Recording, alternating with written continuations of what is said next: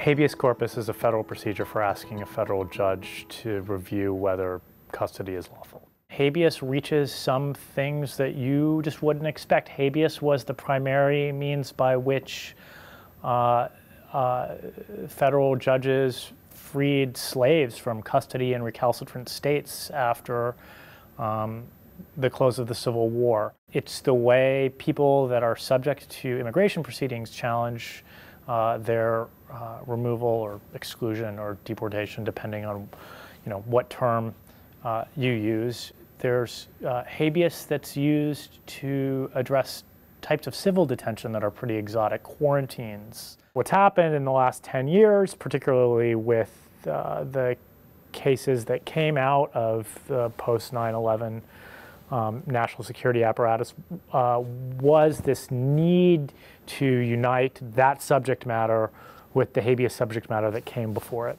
We're really reaching a point where we have to answer the question um, is habeas corpus something with unifying themes that should be taught as a standalone subject, or is it really just part um, of these different subjects, each of which corresponds to a different form of custody?